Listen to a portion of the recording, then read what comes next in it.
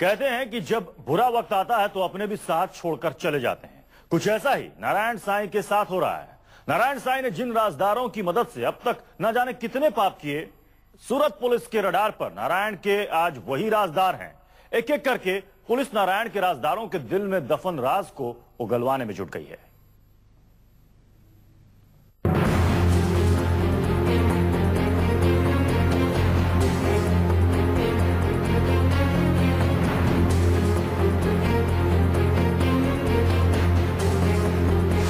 नारायण साई का माया जाल।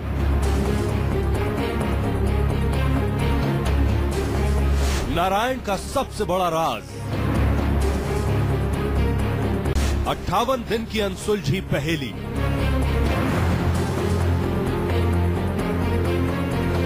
तेरह करोड़ के रिश्वत कांड का राज।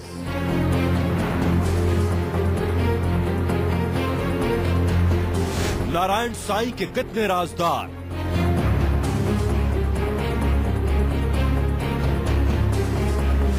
सूरत पुलिस की नारायण मिस्ट्री।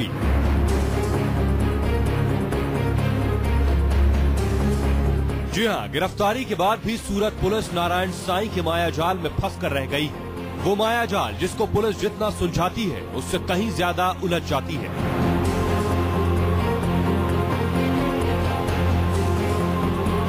बेशक नारायण पुलिस हिरासत में हो, लेकिन हर दिन नारायण का नया कांड सामने आ रहा है।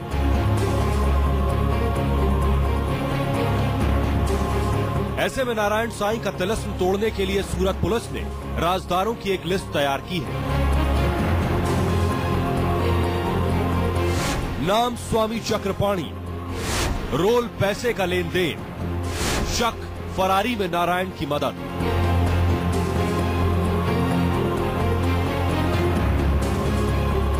नंबर दो, नाम मोनिका अग्रवाल, रोल लड़कियों का इंतज़ाम, शक, फरारी में मददगार।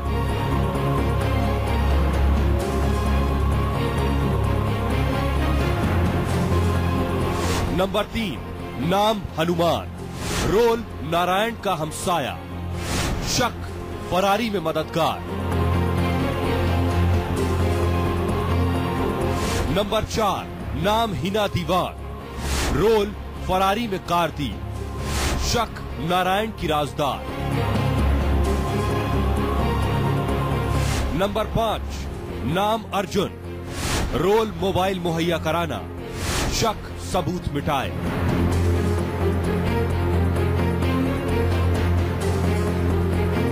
नंबर छह, नाम विष्णु। रोल फरारी में मददगार। शक, पैसों का इंतज़ाम। नंबर सात, नाम उदय नवीन चंद संघानी। रोल रिश्वत की डील। शक, सूरत पुलिस का भेदिया।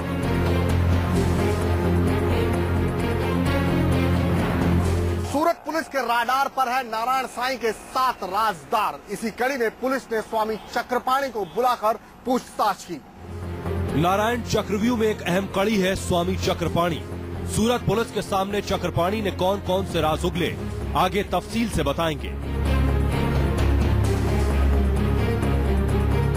इससे पहले आपको बता दें कि सूरत पुलिस की एक टीम नारायण साई को लेकर लुधियाना पहुँची थी। गिरफ्तारी से पहले नारायण साईं का आखिरी ठिकाना लुधियाना ही था। मकसद है नारायण से अट्ठावन दिन की फरारी का एक एक राज उगलवाना। आखिर अट्ठावन दिनों तक नारायण साईं कहाँ कहाँ छिपा रहा और किन लोगों ने नारायण की मदद की?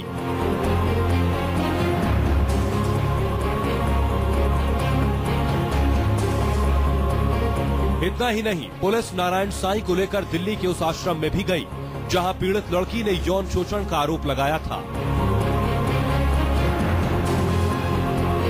सूरत पुलिस के सामने सबसे बड़ी चुनौती है शातिर नारायण के दिल में दफन पाप के राज उगलवाना।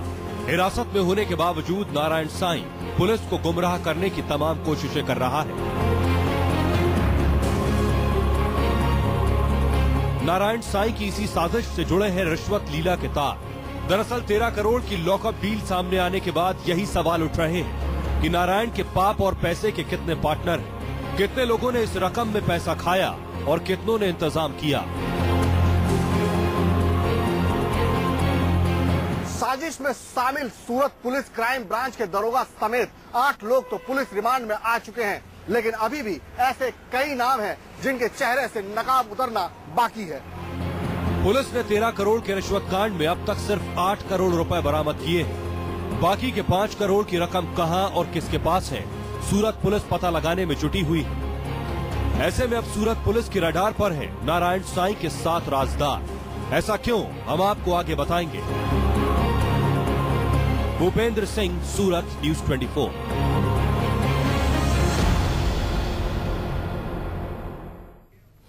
जिस दिन से बाप बेटे के बुरे दिन शुरू हुए, स्वामी चक्रपाणी ने दोनों के बचाव में मोर्चा खोल दिया। न्यूज़ चैनलों पर सीना ठोक कर आसाराम और नारायण साई को बेकसूर बताते रहे। लेकिन अब बाप बेटे की अंधभक्ति ही स्वामी चक्रपाणी को महँगी पड़ रही है।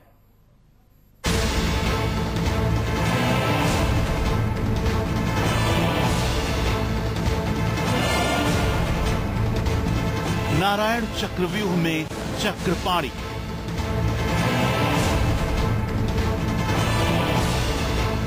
चक्रपाणी का नारायण कनेक्शन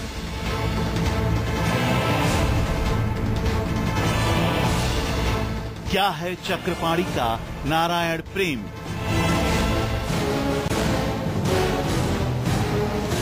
क्या चक्रपाणी खोलेंगे नारायण के राज?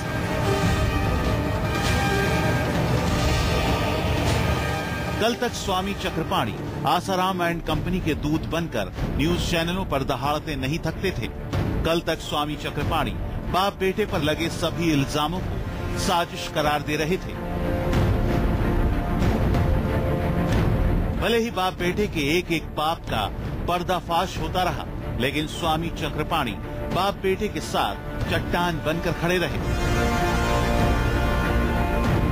यहाँ तक कि चक्रपाणी महाराज आसाराम एंड कंपनी को बचाने के लिए हिंदू अस्मिता की दुहाई देते नहीं थकते थे। स्वामी चक्रपाणी, अखिल भारतीय संत महासभा के अध्यक्ष हैं, लेकिन उनकी असली पहचान आसाराम के करीबी के तौर पर मानी जाती है। नारायण साईं के साथ नज़र आ रहे स्वामी चक्रपाणी की ये तस्वीरें इस बात की तस्दीक करने के लिए काफ़ी हैं। नारायण साई अट्ठावन दिनों तक पुलिस के लिए छलावा बना रहा, लेकिन फरारी के दौरान नारायण साई स्वामी चक्रपाणी के संपर्क में था। इसकी तस्दीक खुद एक न्यूज़ चैनल पर स्वामी चक्रपाणी ने की थी। नारायण साई कहीं नहीं भाग रहे। लगातार मेरे संपर्क में है। वक्त आने पर नारायण साई पुलिस के सामने आ जाएँगे।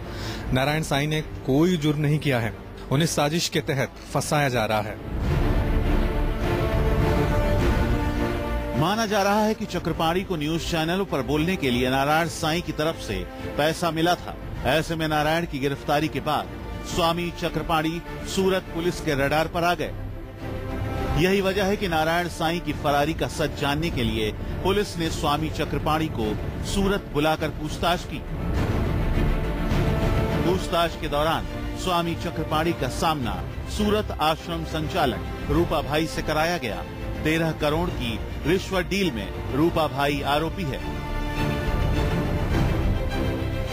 पुलिस को शक है कि चक्रपाणी न सिर्फ़ नारायण की फरारी का राज जानते हैं, बल्कि तेरह करोड़ की डील का सच भी जानते हैं। हो सकता है कि स्वामी चक्रपाणी ने नारायण की रिश्वत लीला में पैसों का इंतज़ाम किया।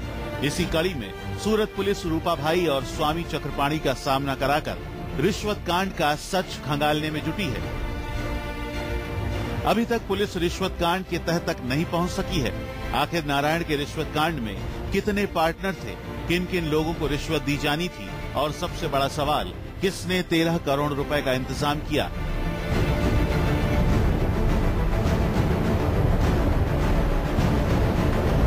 सूत्रों के मुताबिक पुलिस स्वामी चक्रपाणी की कॉल डिटेल भी निकलवा सकती है, ताकि पता लग सके कि वो नारायण साईं के संपर्क में थे या नहीं।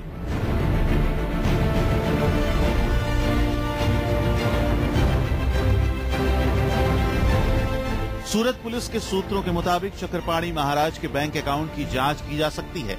साथ ही नारायण के रिश्वत कांड से जुड़े आठ राजदारों से पूछताछ होगी। आखिर चक्रपाणी महाराज को अगर पैसा दिया गया तो कैसे?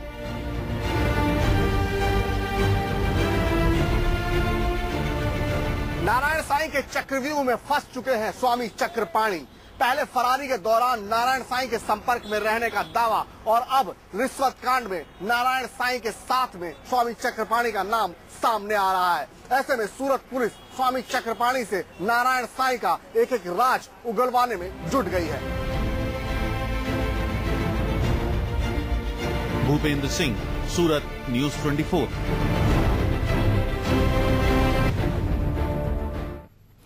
हरदी नारायण की एक नई लीला सूरत पुलिस के सामने आ रही है। पुलिस भी मानती है कि नारायण की पाप कथा के कुछ अध्याय अभी तक दुनिया के सामने नहीं आए हैं। और यही वजह है कि सूरत पुलिस ने नारायण के तीन और राजदारों को अपने रडार पर ले रखा है।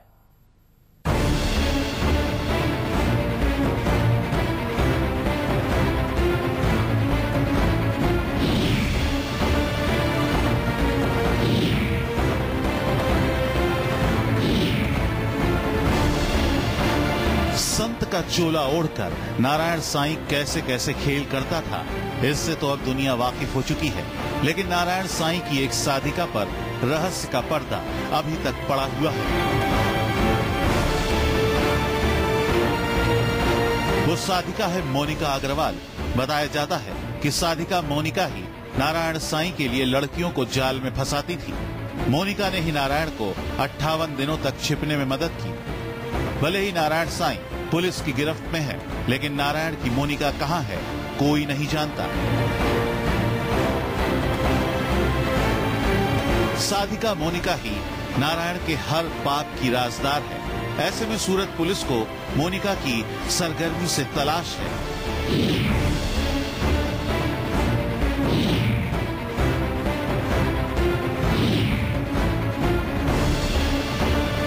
चार नवंबर को नारायण साईं के साथ उसका राजदार हनुमान भी पुलिस के हत्थे चढ़ा था।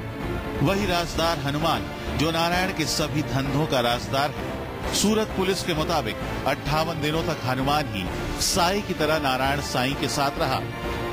अट्ठावन दिन तक नारायण साई कहाँ छिपा रहा? फरारी के दौरान नारायण ने किन लोगों से संपर्क किया? कैसे अट्ठावन दिनों तक नारायण साईं पुलिस को चकमा देने में कामयाब रहा, ये सब हनुमान जानता है।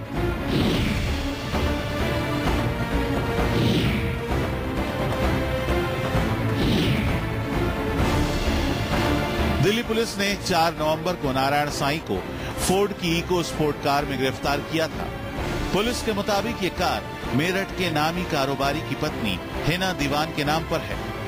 हेना दीवान ने ही 17 अक्टूबर को कार खरीदकर नारायण साईं को तोहफे में दी थी। यानी ये जानते हुए भी कि नारायण एक इनामी भगोड़ा है। ऐसे में सूरत पुलिस ने हेना दीवान को समन भेजा है। आने वाले दिनों में पुलिस हिना दीवान से पूछताछ कर सकती है।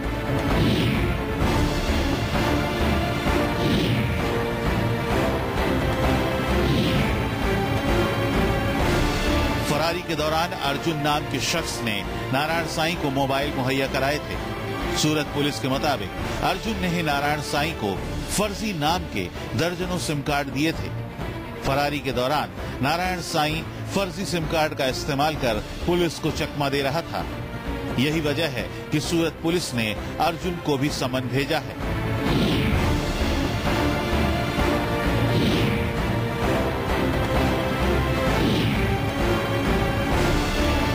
गिरफ्तारी के वक्त नारायण साईं के पास से एक लाख से ज़्यादा कैश बरामद हुआ था। सूरत पुलिस के मुताबिक नारायण को ये कैश विष्णु नाम के शख्स ने दिया था। पुलिस अब विष्णु को सरगर्मी से तलाश कर रही है ताकि नारायण की फरारी का सच दुनिया के सामने आ सके।